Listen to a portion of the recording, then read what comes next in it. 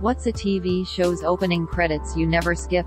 Bluey, Twin Peaks, Narcos, DuckTales, The X-Files. King of the Hill, Breaking Bad, because it's too short to skip it.